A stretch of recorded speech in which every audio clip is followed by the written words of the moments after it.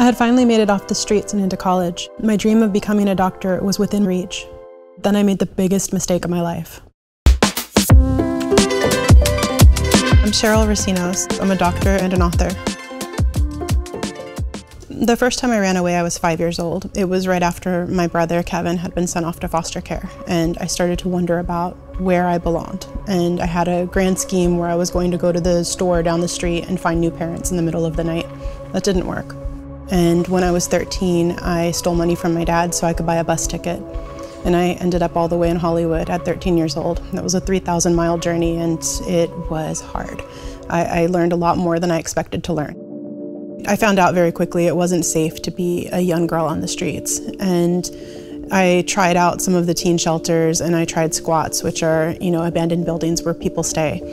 And I was trying to figure out what I was going to do with my life then, but I was arrested for being a runaway and I was sent back to North Carolina.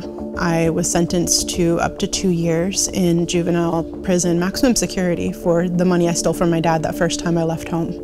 $250. The judge put me in maximum security because he felt like I was a flight risk, and he was probably right. I was running and no one was asking why. I ended up spending 10 months there because I got out on good behavior, but during that time, you know, I, I was assaulted, jumped. A lot of the people that I was in there with were truly in maximum security because they had done things that, you know, warranted being in maximum security, but I had stolen money from my dad. I had a misdemeanor larceny it, it, was hard. And by the time that I got out, you know, I, I was, you know, learning very, very quickly that I had been traumatized. Um, I, wasn't the same person I was when I went in. And unfortunately, during the time that I was in the, the prison, foster care dumped me back in my dad's custody. And so when I was released, I was sent right back to where everything had started and nothing had changed. So I walked from school to the freeway and I hitchhiked. I took a very long route to get almost to Los Angeles and I've been here ever since. I got back here when I was 16 and I call it home.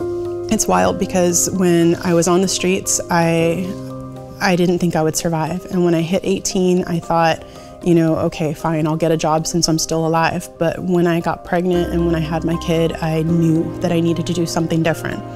And I, I had this mindset that, you know, I needed to figure out how to find some kind of work that was stable, that would help support my kids so that they would have a better upbringing than me. When I had her, I remember I was sitting in the hospital and I was talking to my best friend Michelle. I saw my kid and I saw the way the doctors were treating me, which wasn't good. They assumed because I had gone to the free clinic that, you know, I was less than and they treated me very poorly. And I kept telling her, you know, I feel like I want to be a doctor because nobody listens to me, nobody cares. And that seed developed over years to where I knew I needed to go into medicine. I was able to use the federal financial aid that I suddenly qualified for because I had a kid. I remember you know, going to all those welfare meetings and they kept telling me to go get a job. And I kept saying, you know, I'm going to go to school and I'll pay it all back. And I remember them laughing when I said it, but I knew I would get there. I guess they thought that I wouldn't be as successful as I planned to be.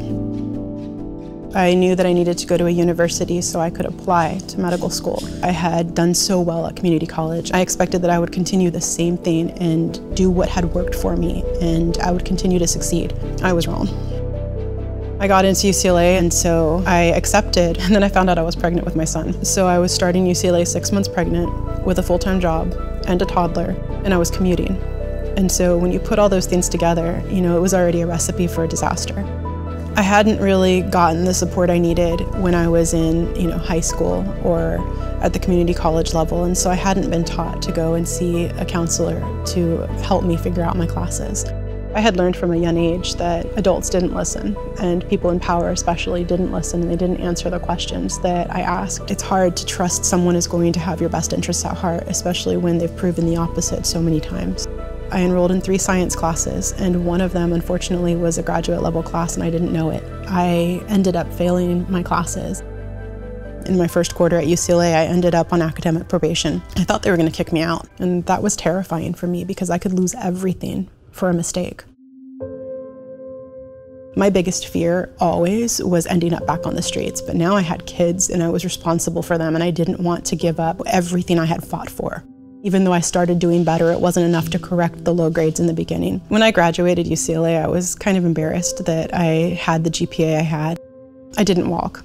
I didn't really feel like I had done what I had gone there to do. I didn't think that I deserved to be a doctor because I'd been in juvenile prison. I kept thinking, you know, because of all these things I did as a teenager, somewhere down the road there will be a block and someone will say you can't do this. But I really believed I could.